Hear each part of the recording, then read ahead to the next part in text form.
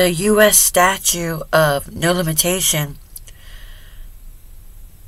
thrown down the balloon yesterday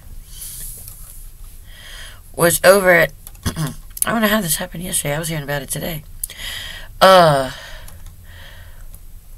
over at Carolina.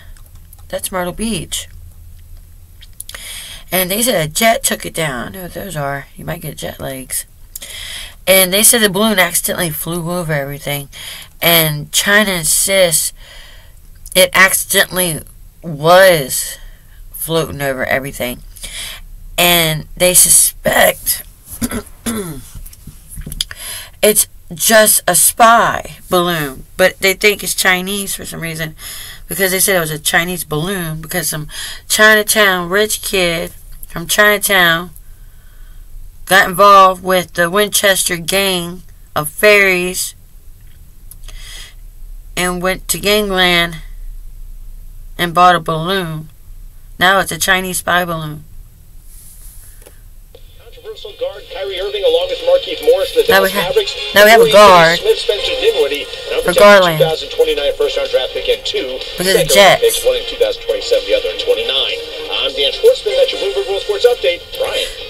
But I think there's more than one balloon. Time 16 minutes before the top of the hour. This is Bloomberg Daybreak Asia. I'm Brian Curtis with Michelle Jamrisko. And our guest now is Stephen Blitz, Chief U.S. Economist at T.S. Lombard, to take But a it's a closer look at Chinese this balloon. blockbuster U.S. January jobs report that showed hiring unexpectedly surging while unemployment fell to a 53-year low. We, we understand that there Now, Chinatown is responding to the unemployment of a 15% on low during the violation of balloon. And nothing's wrong. But they protest not to take down the balloon.